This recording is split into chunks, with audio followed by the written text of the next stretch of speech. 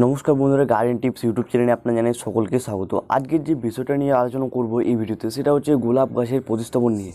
গোলাপ গাছ আপনাদেরকে এই সময়ে খাবার দিতে হবে। আপনাদের যারা পুরনো গাছ রয়েছে, তাদেরকে তারা কী করবেন? তারা রিপোর্ট করতে পারে। এবং যারা নতুন এনে গোলাপ গাছটিকে প্রতিস্থাপন করছেন, কী কী ধরনের মাটি তৈরি করতে হয় এবং কী কী ধরনের খাবার দিতে হয়, আজকের এই ভিডিওতে আমি আপনার সঙ্গে আলোচনা করব এইসব বিষয়গুলো নিয়ে। আপনারা যারা নতুন গোলাপ গাছ আনছেন বা আপনাদের কাছে যদি পুরনো গোলাপ গাছ থেকে থাকে, তাহলে এই ভিডিওটা অবশ্যই আপনারা দেখতে থাকুন। বেশি দেরি না করে চলুন বন্ধুরা, আজকের এই ভিডিওতে দেখে নেওয়া যাক কী ধরনের মাটি তৈরি করতে হবে গোলাপ গাছের জন্য। তো চলুন বন্ধুরা, শুরু করে যাক আজকের এই ভিডিও এখানে আমার টবে একটা মাটি ভরা রয়েছে এই টবে। এই টবে লেগে- লাগিয়েছিলাম বেগুন গাছ, তো সে বেগুন গাছটা মারা যায়।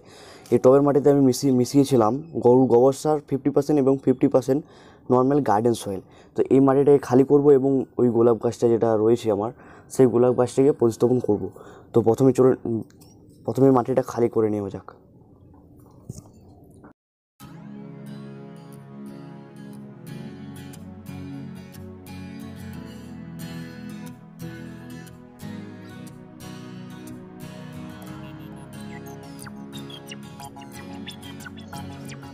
আমি একটা অলরেডি গাছ রয়েছে আমার, পুরনো গাছ লাগানো আছে। এই মাটিটা অনেক দীর্ঘদিন ধরে রয়েছে, প্রায় এক বছর হয়ে গেল চেঞ্জ করা হয়নি।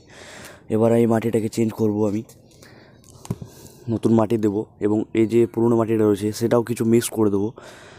তো চলুন বন্ধুরা মিক্স করে নেওয়া যাক।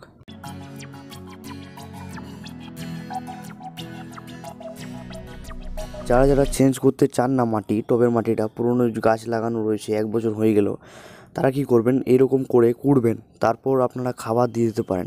খাবার আপনাদেরকে দিতে হবে এক মুঠো হাড় গুঁড়ো, এক মুঠো শিংকুচি এবং হাতের কাছে যদি নিমখোল থাকে তাহলে এক মুঠো নিমখোল আপনারা দিয়ে তারপর ভালোভাবে মিক্স করে খাবারটা চারিদিকে ছড়িয়ে দিয়ে তারপর আপনারা নতুন মাটি অ্যাড করবেন। এখানে কিন্তু পুরনো যে মাটিটা ফেলে দিলেন, সেই মাটিটা অ্যাড করবেন না। পুরনো মাটিটা ফেলে দেবেন এবং নতুন মাটিটা দিয়ে তারপর ভালোভাবে খাবারগুলো দিয়ে তারপর মাটিটা মিক্স করে দেবেন।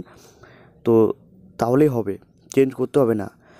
আর যাদের দু বছর লাগানো রয়েছে একটা টবে, তাদেরকে বলব অবশ্যই আপনারা চেঞ্জ করে দিন, মাটিটা নতুন মাটি এনে তারপর খাবার দিয়ে চেঞ্জ করে দিন। খাবারগুলো কী কী দিতে হবে এবং কীভাবে মিক্স করতে হবে, সেগুলি আমি একটু পরে দেখাচ্ছি আপনাদেরকে।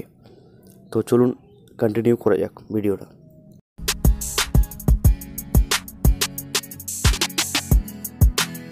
খাবারটা আপনাদেরকে যেগুলো দিতে হবে, সেটি হচ্ছে দেখাচ্ছি আমি আপনাদেরকে কী কী খাবার দিতে হবে। এটা হচ্ছে হাড় গুঁড়ো। এটাকে নিতে হবে আপনাদেরকে দু মুঠো ওই টবটার জন্য, আট ইঞ্চি টবের জন্য। এবং দশ ইঞ্চি থাকলে আরেক মুঠো আপনারা দিতে পারেন। আমি এটাকে নিচ্ছি দু মুঠো।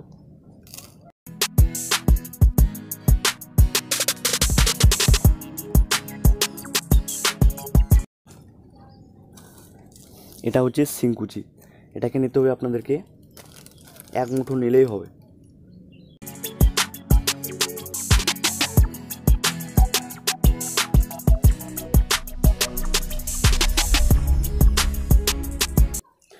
এবার এগুলোকে ভালোভাবে মিক্স করে আরেকটা ব্যাপার, আপনাদের কাছে নিমখোল যদি থাকে তাহলে নিমখোলটা যেটা, সেটাকে এক মুঠো আপনারা দিতে পারেন। নিমখোলটা অবশ্যই দেবেন, কারণ হচ্ছে ফাঙ্গাস লাগবে না।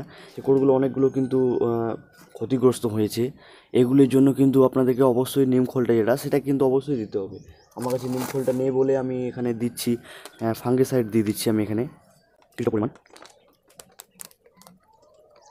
ব্যাস।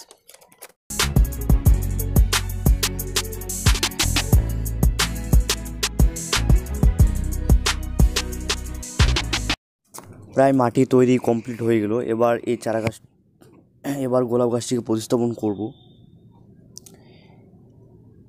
এরকম সাধারণভাবে আপনারা মাটিটা তৈরি করুন এবং যদি হাড় গুঁড়ো শিংকুচি না থেকে থাকে, তাহলে আপনারা বাজার থেকে আনতে পারেন এবং যদি না থাকে, তাহলে আপনারা অনলাইনে অবশ্যই অর্ডার করে এই খাবারটা অবশ্যই দিন। না হলে গোলাপ গাছের জন্য জৈব উপায়ে আপনারা যদি করতে চান তাহলে এরকম প্রসেসেই আপনাদেরকে করতে হবে। এবং যদি রাসায়নিক করতে চান তাহলে ওর আলাদা মাটি তৈরি করতে হয় রাসায়নিকে। তো জৈবিক উপায়ে করুন, মাটিটা দীর্ঘদিন চলবে, মাটিটা ভালো থাকবে। তো এটাই বলব, জৈবিক উপায়ে অবশ্যই করুন এবং সাধারণভাবে মাটিটা তৈরি করুন। তো এর, এতে কিন্তু মাটিটার মধ্যে কিন্তু অনেক কিছু দেওয়া যায়। আমার কাছে নেই বলে আমি দিতে পারলাম না। অতগুলি আপনাদের কাছে নাও থাকতে পারে। তাই আমি সাধারণভাবে মাটিটা তৈরি করে আপনাদেরকে দেখালাম। আপনারা এরকমভাবে মাটিটা সাধারণভাবে তৈরি করে আপনারা গোলাপ গাছটিকে প্রতিস্থাপন করতে পারেন। এই হলো মাটির তৈরি ব্যাপার। এবার আলোচনা করি যে কী ধরনের জল দিতে হবে আপনাদেরকে। প্রতিস্থাপন করার পর কিন্তু ফুল ফুল জল দিতে হবে। আমি আপনাদেরকে দেখাচ্ছি, ফুল জল দিয়ে দিতে হবে আপনাদেরকে। তারপর যে, যেরকম জল দেন তাও সেরকম জল আপনাদেরকে দিতে হবে এবং ফুল সানলাইটে গাছটিকে রাখতে হবে। তো বেশি দেরি না করে চলুন গাছটিকে প্রতিস্থাপন করে নিই।